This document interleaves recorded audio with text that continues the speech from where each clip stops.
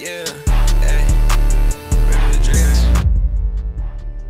Yo, what is up guys? Welcome back to another video. And in this video, I'm to be showing you guys this VHS and CRT effect inside of Premiere Pro and After Effects. Now, before we get started with the effect, you're going to need these presets that I linked down in the description. I made all of these presets and they're for After Effects and Premiere Pro. So I'm to go ahead and show you guys what it looks like. So if you download this, you'll get these different packs here of the Premiere Pro, which has the CRT and the VHS in it. And same thing goes with After Effects here. We got also bonus effects here, and then we have the CRT and the VHS. So yeah, those are the effects. And I'm going to show you guys how to install the Premiere Pro ones right now. Okay, so inside the Premiere Pro file here, we have the CRT and VHS. I'm just going to install the CRT first. And this is going to look a bit different for me because I have these little like After Effects symbols there. I'm not totally sure why they're there, but it should be something else for you guys. But as long as it's a dot MOGRT file, it's going to work. So you just want to select all these files. And inside of Premiere Pro, you want to make sure you have the Essential Graphics panel open. If that's not there, then you just want to make sure that you have it on right here and have Essential Graphics checked. And you just want to drag all those effects into your essential graphics there. And then we're going to do the same thing with the VHS. So select all of those and drag them in. So it's that easy. They're all installed. So now all you have to do is search up either the VHS or CRT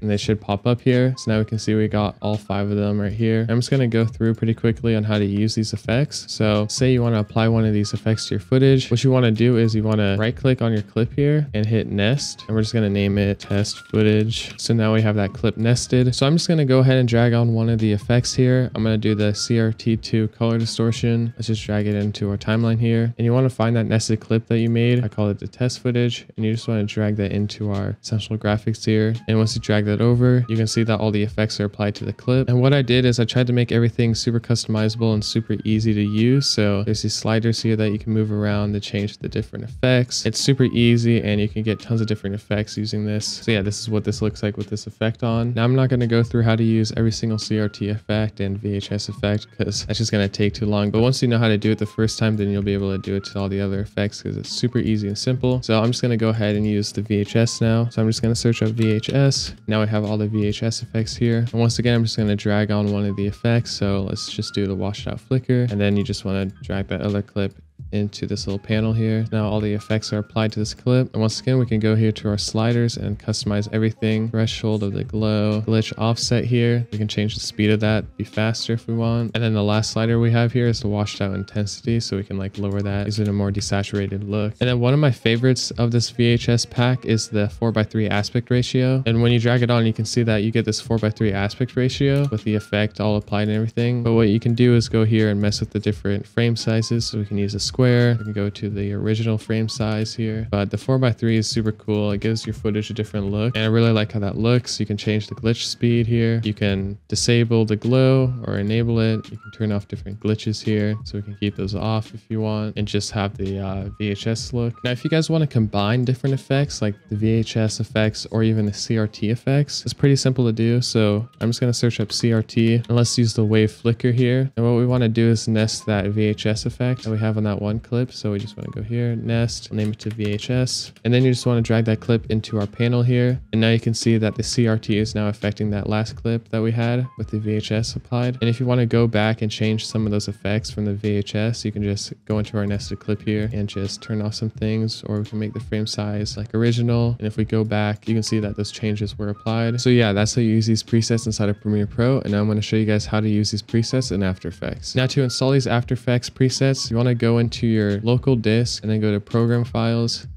Adobe, Adobe After Effects, and then support files, and then look for presets. Then you just want to go into your After Effects folder from the presets that you downloaded, and then select all these different folders here, and just drag them into your presets folder. But yeah, once you install those, you just want to close After Effects, and then you want to reopen it so that the presets are in there. Now back inside of After Effects here, you just want to go into your animation presets, and then you'll see the bonus effects, CRT, and VHS. So I'm just going to drag in one of the CRT effects. I'll use the uh, noise one. You just want to drag it onto your clip or either adjustment layer. And now you can see that the effect is applied. So yeah, that looks super cool. I'm just going to go ahead and control Z so we can go back to our original footage here. I'm just going to go ahead and apply a VHS effect now. Let's just use the washed out flicker. Once again, that looks super cool and it's super easy to do. But I want to go ahead and add another effect to it. So I'm just going to add a new adjustment layer. Let's go up to layer, new, adjustment layer, and let's add a CRT effect on top of that. Let's add the inverted warp to it. Now when you play that back, you can see you get this super cool warp around the edges with also the CRT applied to it. Now say you wanted to add some effects, but you didn't want to add like the CRT or whatever, we can just go ahead and delete that adjustment layer. Let's just go ahead and add a new fresh one. And inside the bonus effects here, we have different effects that we can go ahead and add on. So we can add 18 FPS, which is going to slow down our footage to 18 frames per second. So if you play that back, you can see the footage is now 18 FPS. I'm just going to remove that effect and add another one. I'm going to add this delay here. And this one is super trippy, but it gives off a super cool effect. And then we got edge warp here, and then we got fisheye. These are super fun to use. You can literally mess with all of them. You can apply different effects on top of each other. Like I said earlier, like we can apply this